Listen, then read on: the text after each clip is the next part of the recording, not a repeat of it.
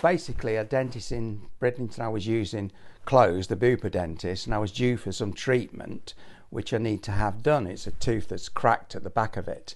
And, and I can't find an NHS dentist, and I can't find a dentist I can pay for anywhere within a 30 mile radius.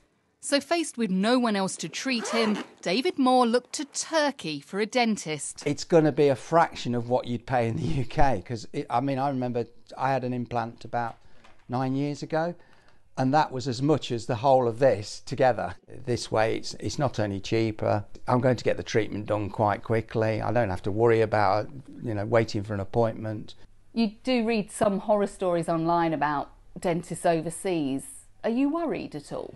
You know, a lot of these people, they want this sort of Hollywood type smile, mainly younger people, and they've not really thought it through. And I think that's when you have problems. They've gone to these dentists, they've maybe not done their research that they, they are proper dentists, and they've come back with horror stories and had to have problems. Last week, David and his wife flew out to Antalya to fix his cracked tooth and replace two he'd lost. The dental work, flights, and accommodation all costing less than £2,000. The dental surgery told us most of their patients come from the UK. In Turkey, especially in Antalya, increasing a lot of clinics and opening a lot of clinics, and most of them they're taking care of the UK patients. They cannot have the appointments in the UK, so they are not able to get rid of the pain and the other problems, and there is no uh, much other options. Today, we caught up with David back home.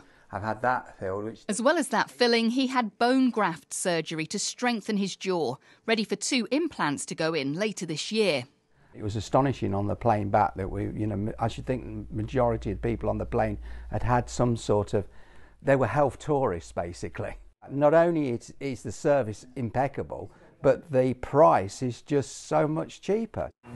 The British Dental Association says many of its members have been asked to fix problems after overseas cut price treatment, and they're urging patients to check a dentist's qualifications and experience and factor in the cost of follow up visits for complex work. That's something David did. Returning home with antibiotics and a dental bill around a third of what he'd expected to pay here. Anne Marie Tasker, BBC Look North, Bridlington.